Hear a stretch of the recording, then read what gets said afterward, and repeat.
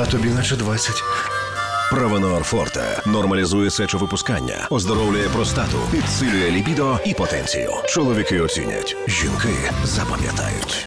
Пока компания SpaceX запускает на орбиту свои сверхтяжелые ракеты «Фальконы», а также отправляет космический корабль с астронавтами НАСА на Международную космическую станцию,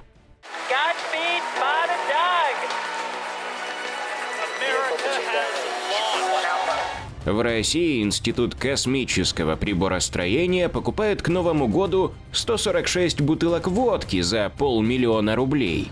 А в то время как робот Perseverance прибывает на Марс искать следы инопланетной жизни, now has radar lock on the ground. Current velocity is about 100 meters per second, 6.6 kilometers above the surface of Mars.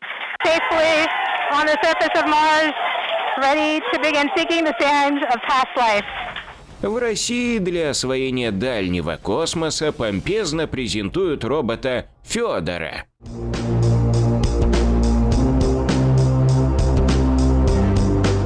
Мы все можем сделать.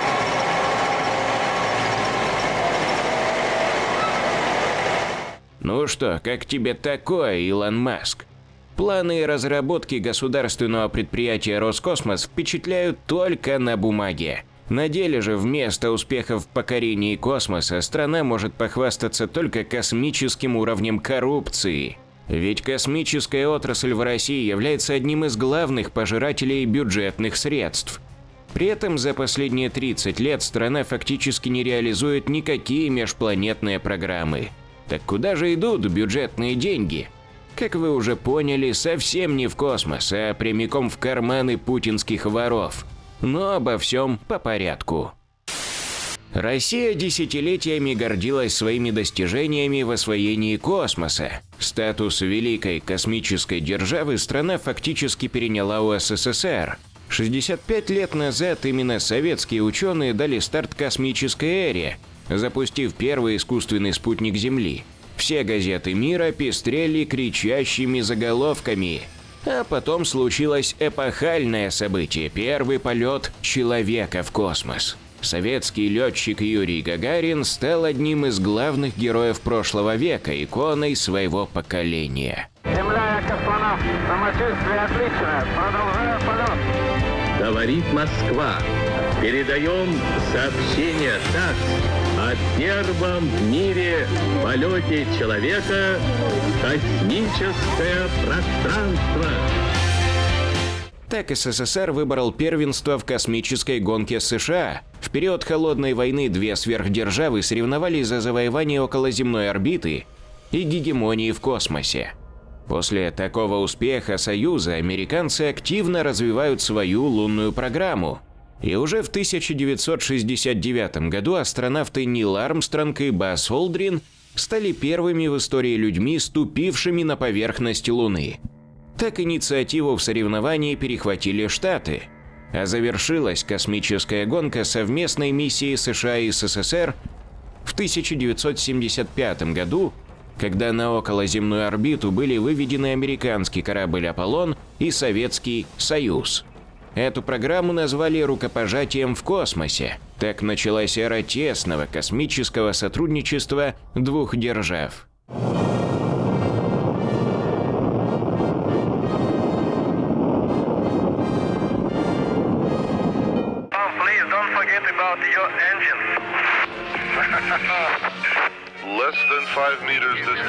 Но это в прошлом. Сегодня же российский космос в таком упадке, что проигрывает не только бывшим соперникам США, но уже и Китаю.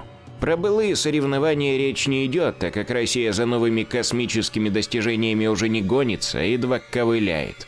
Они будут стараться показывать, что они якобы э, остаются такой же э, крупной космической мировой э, державой, как это было Советский Союз, но это уже не так, потому что они уже уступили в данном случае пальму, эту пальму Китаю, который стал теперь фактически наравне с Соединенными Штатами Америки и теперь борется за гегемонию в космосе.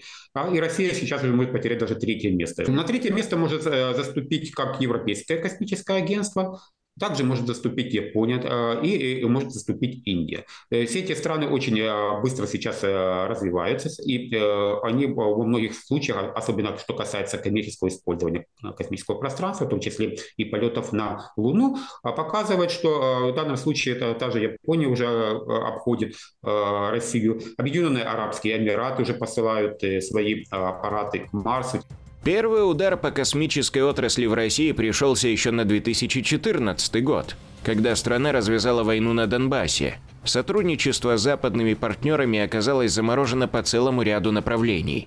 Кооперация с украинскими коллегами остановлена полностью. Тогда в России бравурно заявили, что санкции только сыграли на руку отечественной космической отрасли. Мол, введение запретов только ускорило процесс импортозамещения, к которому так стремились. На самом же деле государственная корпорация «Роскосмос», главный гигант космической деятельности в Российской Федерации, испытывает серьезные проблемы из-за международных санкций. В 2014 году контрабандным путем, обходя санкции, корпорации еще удавалось доставать импортные комплектующие – но с началом полномасштабного вторжения прежние каналы перекрыты. Отказался сотрудничать и Китай – Потихоньку этот поток все-таки а, иссякал, и, скажем так, сейчас основная а, надежда их а, на спутники, например, которые работают уже 5-7 лет, которые сделаны из тех еще комплектующих, из тех запасов, и они продолжают работать, потому что электроника западная все-таки очень надежная. А новые спутники, они уже не могут делать, потому что уже нет тут комплектующих, им приходится возвращаться к советским технологиям, технологиям, которые используют микроэлектронику более крупную и менее надежную, и все сейчас сейчас нынешние э, запуски показывают, что их спутники действительно не такие надежные, какие были э, еще 5-7 лет назад. Китайская микроэлектроника космическая также им недоступна, потому что Китай в свое время готов был им предоставлять в обмен на двигательные технологии, но Россия, как всегда, э, считала себя великой э, страной, которая не пойдет на какой-то шантаж, и они тогда отказались, понимая, что они пока еще имеют возможность получать западную микроэлектронику. А теперь Китай просто отказался продавать из-за санкций Э, космическую микроэлектронику. То есть таким образом санкции очень сильно ударили прежде всего по спутниковому направлению Российской Федерации. Если э, э, санкционный режим окажется продолжительным, то понятно, что их возможности будут уменьшаться, все уменьшаться. И, скажем так, эпоха российской космонавтики, основанная на советских основах, она будет уже все-таки уходить в прошлое. Главная гордость России – ракетные двигатели. Разработка химкинского предприятия «Энергомаш» уже четверть века используют и на американских ракетоносителях.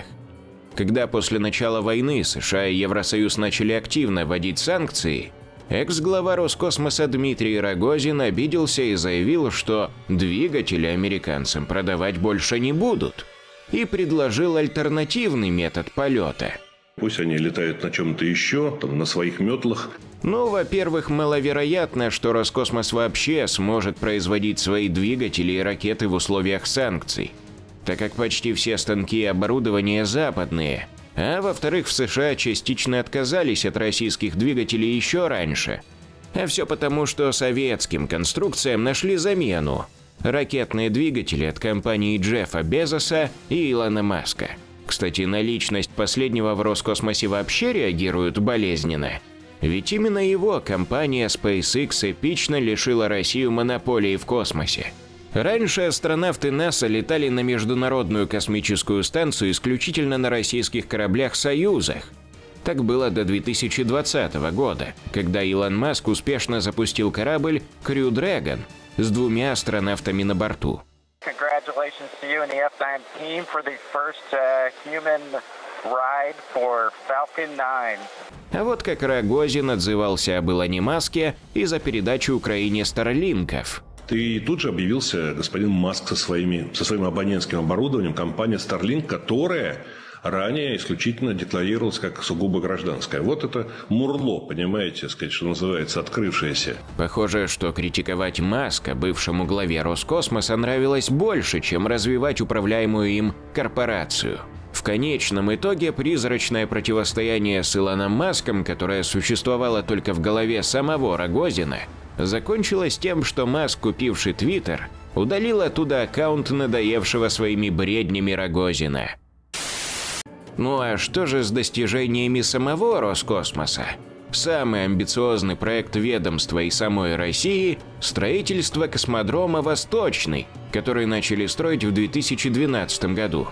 Этот космодром должен был стать для Российской Федерации новым Байконуром – Таким образом, они хотят э, локализировать свои а, все космические э, программы, чтобы не связываться с Байконуром, а поскольку они понимают, что Казахстан – это все-таки Восток, и Восток – дело тонкое, в любой момент могут лишиться Байконура. Хотя Байконур остается главным, конечно, космопортом для пилотированной космонавтики, все космические корабли с экипажами на Международную космическую станцию, которые производит Россия, производится, конечно же, Байконура. Вопреки ожиданиям, новый строящийся космопорт стал лишь символом космической коррупции.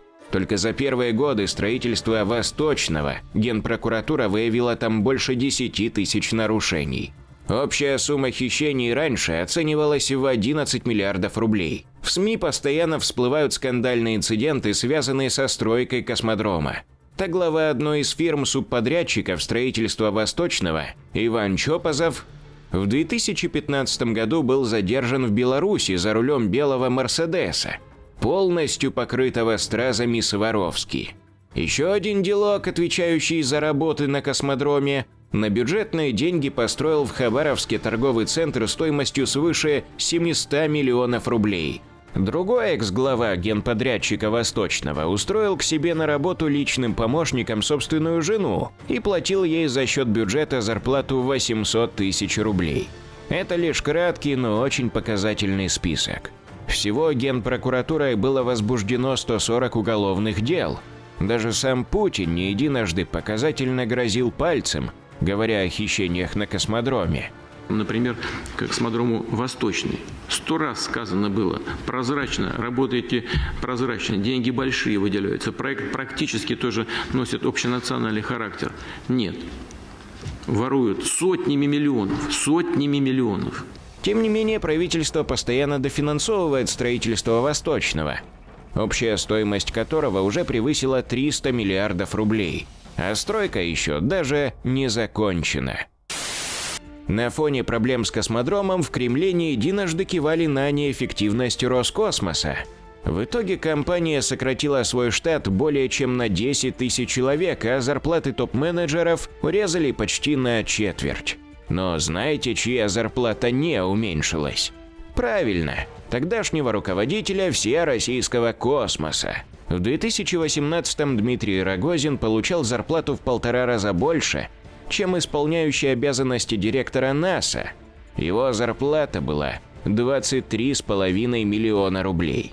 В 2019 получил уже в два с половиной раза больше, чем директор НАСА – 44 миллиона рублей.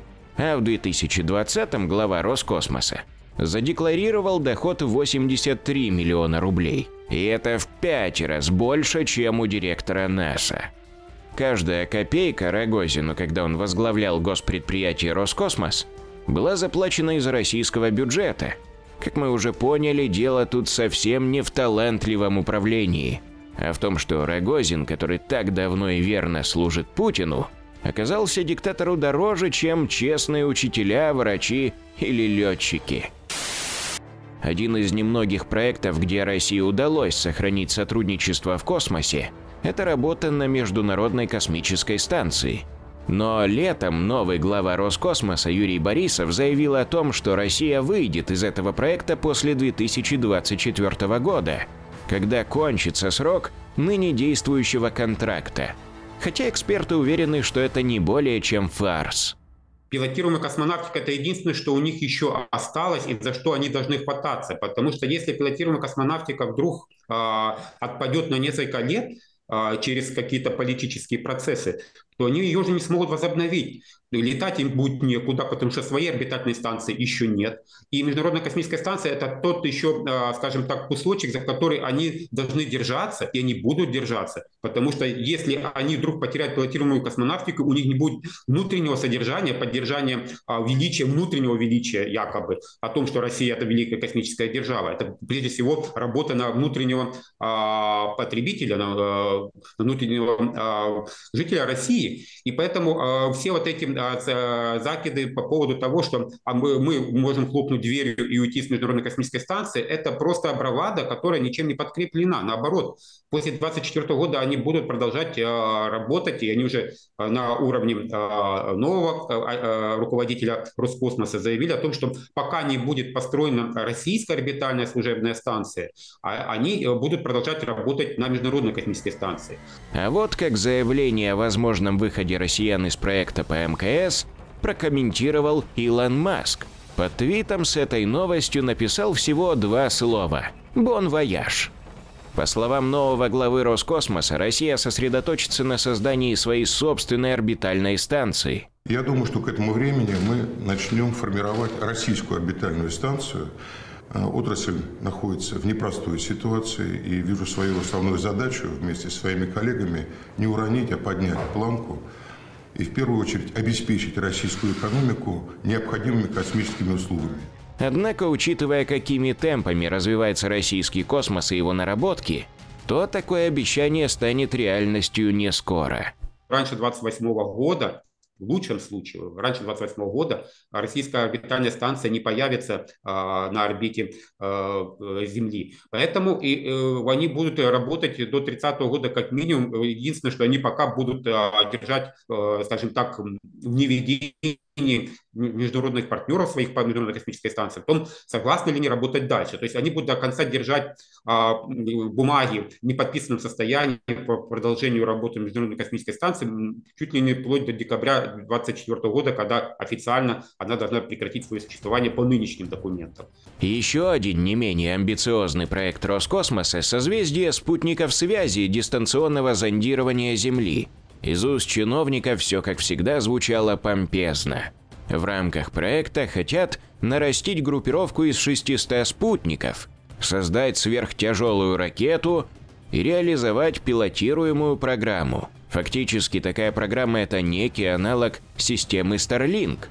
Недавно стало известно, что проект «Сфера» получит от государства лишь половину запрошенного бюджета – 95 миллиардов рублей – Деньжат из бюджета уже не хватает. Вместо 600 спутников на орбиту планируют выводить в три раза меньше аппаратов. Они хотят э, иметь что-то типа э, спутниковых созвездий э, наподобие Илона Маска, Э, под названием «Сфера», это многозадачное спутниковое созвездие, то для такого объема работ они э, планируют в 2023 году выпускать даже облигационные займы на 50 миллиардов рублей для того, чтобы начать работу по подготовке э, конвейерного сбора, сбора этих спутников для этого космического созвездия.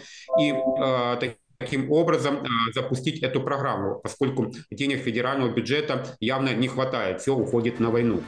Ну что ж, трепещи, Илон Маск. За дело берется российская космонавтика.